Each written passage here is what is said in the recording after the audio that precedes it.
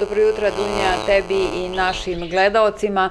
E, kao što si rekla, mi smo kod porodice Mančić u poseti, a oni se bave grnčarijom. Mi ćemo razgovarati sa gospođom Valentinom o tome kako su počeli i kako su se opredelili upravo za grnčariju. Valentina, recite nam zašto baš grnčarija i kako ste počeli da se bavite ovim poslom? Pa zašto baš grnčarija? Ovaj, najpre to je porodičan posao, ovaj, porodična tradicija od strane mog supruga, znači suprugov deda se bavio grnčarijom i držao je radio, grnčarske radionice u Pirotu, u Zaječaru, ovaj, u Makedoniji, u Kavadarcima, tako da je on od svog dede ovaj, nasledio taj zanat i ljubav prema grnčariji. A ja iz ljubavi prema suprugu zavolela sam naravno i grnčariju. Grančarija je veoma zanimljiv posao, u stvari jedan umetnički zanat i mora da se posjeduje jedna umetnička crta i kreativne sposobnosti. Znači, grančarija pruža raznovrsne mogućnosti, tako da je veoma lepo baviti se grančarijom i zanimljivo. Jeste suprug glavni virtuoz na točku, znači majstor svog zanata, a ja sam tu kao jedna ovaj, kreativna podrška, kao podrška što se tiče spajanje savremene grnčarije i tradicionalne i tako.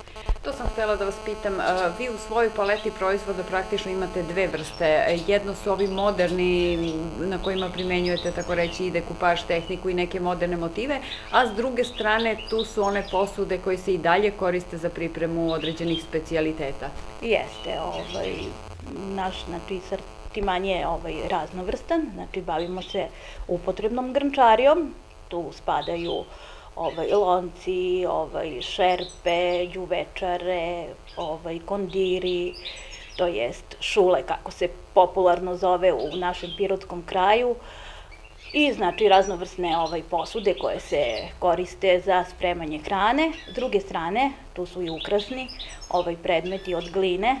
Radimo razne e, saksice, cipelice koje lijemo iz kalupa i na njima naravno se ili oslikava ili se koristi dekupaž tehnika, sve zavisi od potrebe kupca, tržišta i Paleta proizvoda je zanimljiva, recite nam kako ih prodajete, gde sve plasirate svoje proizvode? Pa jeste, paleta je zaista i raznovrsna i bogata i šarelolika i ovaj, pa plasiramo proizvod, imamo neke stalne kupce jer se grnčarijom bavimo preko 20 i kusur godina, Tako da imamo kupce, ovaj, neke stalne koje drže radnje, pa u svojim radnjama ovaj, obogaćuju svoj program grančarijom.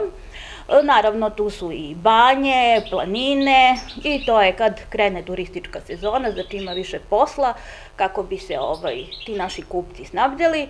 Zatim plasiramo ovaj, našu robu i na sajmovima, posećujemo ove sajme, sajmove koji su bliži ovaj Pirotu i pojavljujemo se naravno tu u Pirotu na Peglanoj Kobasici, onda na sajmove koje ovaj, organizuje Udruženje žena na čelu sa Marijom Penčić, tu su osmomartovski sajmovi, prestojeći uskršnji sajam i tako.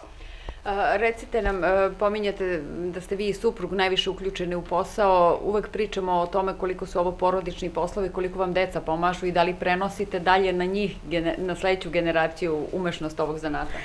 Pa, ovaj, naravno, deca ovaj, se školuju, ovaj, čerka put, pliva u studentskim vodama, tako da ona nije ni tu, a sin je srednjoškolac i on ovaj, se tu nađe da pripomogne. Čak pripoznajemo da i on posjeduje tu neku crtu kreativnosti, tako da njega ovaj, polako uključujemo u porodični posao i mi se nadamo da će onda nasledi ovaj, porodičnu tradiciju jednoga dana. I ono što je ključ, da kažemo, kada se čovek bavi bilo kojim oblikom proizvodnje, jeste, da kažemo, i taj novac, neka zarada. Da li može da se e, osniva radionica, da li može da se od toga živi, obezbedi plata ili je samo eventualno neki dodatak na kućni budžet? Pa može, može, može da se živi, može znači da se organizuje ta neka proizvodnja, da se isplaćaju računi. E, što se tiče ovaj, kod nas, e, nama je najveći ovaj, potrošač e, i najveće ulaganje, kako da kažem, električna energija, pošto ovaj, se peče na struju i onda su ovaj, tu izdvajanja ovako veća. Inače, što se tiče ovaj, gline, nije tako skupo. Onda ta glazura kojom se ovaj, glaziraju predmeti, i ona je malo ovaj, tako zahtevnija jer je veća potrošnja što se tiče. Inače može, može da se ovaj, neka solidna ovaj, plata da se izvuče i tako, ali pre svega ovaj, nije toliko materijalna dobit koliko je ljubav prema ovom zanatu. Valentina, hvala.